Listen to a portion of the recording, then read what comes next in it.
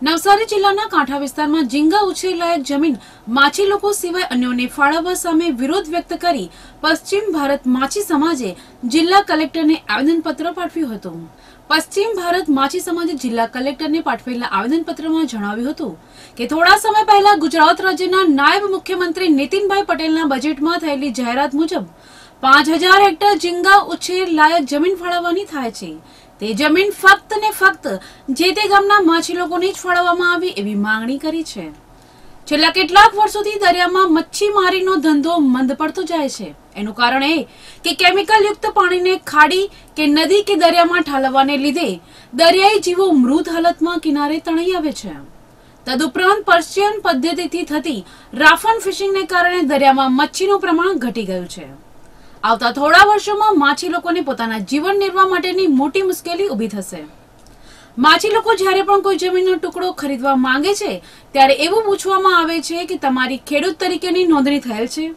જોવા જઈએ તો ધરતીપુત્રો જમીન પર ખેતી કરે છે અને સાગર પુત્રો દરિયામાં ખેતી કરે છે. જેથી બંને ખેડૂતો જ કહેવાય, એ શત પ્રતિશત સાચું છે. તો પછી ધરતીપુત્રો મચ્છીમારી માટે જમીન માંગે, તો તેઓને કેમ ના પૂછાય કે તેઓ માછી છે? તેઓ કોઈ ખેડૂત ભાઈનો વિરોધ નથી કરતા, પણ ઝીંગા ઉછેર લાયક જમીન પર તો માછી લોકોનો જ હક હોવો જોઈએ, તેમ જણાવ્યું હતું. ગણદેવી તાલુકાના મોવાસા અને માસા ગામે કેટલાક ખેડૂતો ઝીંગા ઉછેર લાયક જમીનની માંગણી માટે પૂરજોશમાં લડત ચલાવી રહ્યા હતા અને આવી જમીનથી માછી લોકોને વંચિત રાખવા માંગે છે, એવા આક્ષેપો કર્યા હતા. જેથી માછી લોકોનો બીજો કોઈ આધાર ન હોવાથી ઝીંગા લાયક જમીન માછી લોકોને ફાળવવાની માંગણી કરી છે. આજે અમે કલેક્ટર સાહેબને એક આવેદનપત્ર આપ્યું છે. એ આવેદનપત્ર એટલા માટે આપ્યું છે કે ગુજરાતના કાંઠા વિસ્તારમાં જે ખાલલેનની જગ્યા છે ભેમણા પાણીના પાણીમાં પાણીના ઝીંગાની ઉછેર માટેની જે જગ્યાઓ છે, એ ફક્ત ને ફક્ત અમારા માછી લોકોને જ અપાય અને એમની જ ફાળવણી થાય એવી અમારી એક માંગણી છે. કેમ કે ઘણી જગ્યાએ બીજી કોમ્યુનિટીના બધા, ઘણાને બધાની આવી જમીનો ફાળવાયેલી છે તે લોકોને ભાડે આપે છે, પોતે ધંધા કરતા નથી. એના કરતાં અમારા માછી લોકોને જ જો અપાય, તો જ્યારે દરિયાના મચ્છીમારીનો ધંધો મંદ પડશે ત્યારે આ જે જગ્યા અપાય તેમાં અમારા માછી લોકો એમાં જીવન નિર્વાહ ચલાવવા માટે મચ્છીમારીનો ઝીંગા ઉછેરનો ધંધો કરી પોતાનું જીવન નિર્વાહ ચલાવી શકે એટલા માટે અમે આ આવેદનપત્ર આપ્યું છે.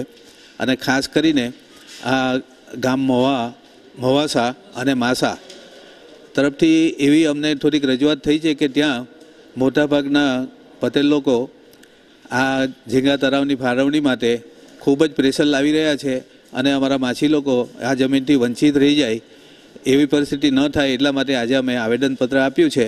એમાં કલેક્ટર સાહેબે અમને કોન્ફિડન્સ આપ્યો છે કે અમે રજૂ કરીશું અને જે કંઈ થાય તે યોગ્ય રીતે કરીશું એવા હયાત ધરપત આપેલા છે તેથી અમને સંતોષ છે.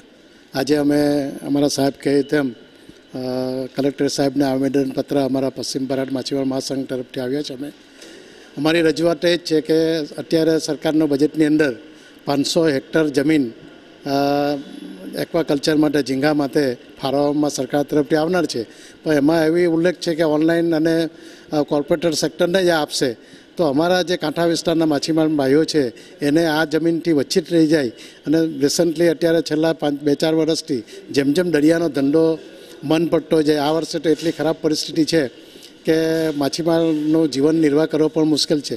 એવા સમયમાં સરકારને અમે રજૂઆત કરવા માંગીએ છીએ કે આ જે કાંઠા વિસ્તારની જમીન છે, જે દરિયા કિનારે આવેલી છે, ભાંભરા પાણીને છે, એની અંદર સીપ ને સીપ આ માછી જે મચ્છી માટે જોડાયેલા ભાઈઓ છે, માછીમાર ભાઈઓ છે, એમને જ આવી જમીન ફાળવવામાં આવે એવી સરકારને અમે રજૂઆત આજે કરવા આવ્યા છે અને કલેક્ટર સાહેબ અમને સારી ધરપટ આપી છે અને સરકારને આ રજૂઆત કરીશું. ફરીથી તમારા માધ્યમથી સરકારના કારણે અમે એ જવાબ એ મોકલવા માગે છે કે ઓનલાઈન પ્રક્રિયા છે એ હરવી કરી અને જે પાંચ હેક્ટરના જે એક્વાકલ્ચરના ખેડૂત છે, એને કોઈ બેંક ઠરી માધ્યમથી એને લીઝ મળે એવી રજૂઆત પણ અમે સરકારને કરવા માગીએ છીએ. Thank you. આભાર.